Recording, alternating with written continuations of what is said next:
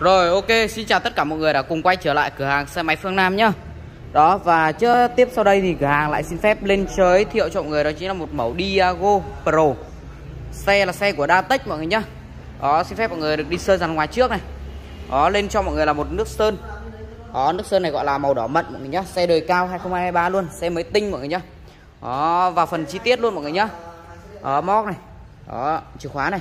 Nói chung là xe chưa có bánh chưa câu bình, chưa đổ xăng, chưa lăn bánh mọi người nhá. Đó, xe cực kỳ là đẹp, cực kỳ là chất luôn.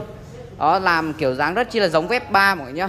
Đó, đèn led nhà sản xuất đưa ra này, cực kỳ là đẹp luôn, gương này.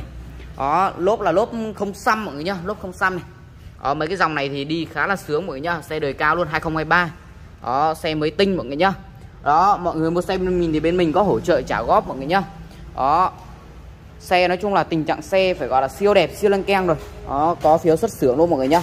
Mọi người mua xe bên mình thì rất chi là yên tâm về xe bên mình nhá. Anh chị em như mình nào mà không đến xem xe được trực tiếp thì có thể ib qua zalo hộ cửa hàng mình với nhá. Đó, xe cực là lăng keng luôn, đời mới rất chi là cao, cấp luôn mọi người nhá. Đó, rất chi là giống vép 3 luôn. Đó, với một cái giá thành rẻ mà anh chị em mình muốn sở hữu được một chiếc xe giống y chang vép 3 nhưng mà lại là nó giá thành nó sẽ rẻ hơn thì mọi người có thể cân nhắc ngay em này nhá đó, xe rất chi là đẹp luôn. Dáng vóc rất chi là nhỏ nhắn, nhỏ ngang ngang vép 3 luôn mọi người nhá. Đó, nhìn sơ qua không khác gì như là vép 3 luôn.